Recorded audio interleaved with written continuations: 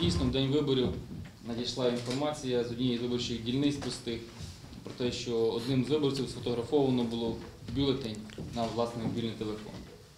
Виїздом на місце СОВ було встановлено, що дійсно виборець пішов до дільниці, проголосував, після чого сфотографував свій бюлетень з результатами голосування на власному бюлетені.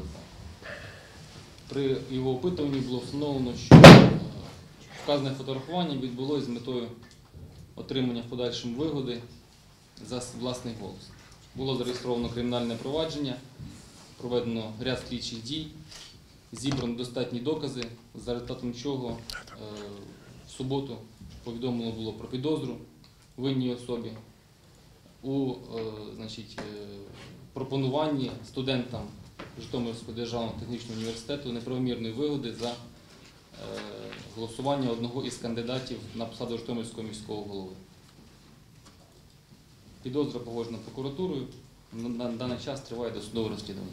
Ну, як мені доповідали, на сьогоднішній день вже такі організатори встановлені. На сьогоднішній е, зараз їх нема в місті Житомирі, вони виїхали. Але ця справа резонансна і найближчим часом буде розслідувана і Прізвище ви ще не при- можете? приявити. Що там, можемо чи не можемо? Ну, ми притягнули до відповідальності, оголосили підозру не студенту, який голосував за 50 гривень, а студенту, який ходив і агітував е, в, в- в університеті за ну, щоб голосували за певного кандидата.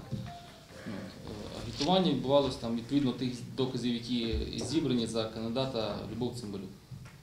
Давайте ви доведіть згідно чинного законодавства все це до кінця, щоб було повністю проведено, перш за все, це прозоре, відкрите розслідування цього випадку. І, звичайно, у нас ще другий тур не допустити такого в другому турі. І не, не важно, до якої, чи політичної сили, чи хто це, який кандидат, але основне це у нас не допустити Е, такого другого, щоб вони відбулися е, чесно і прозоро.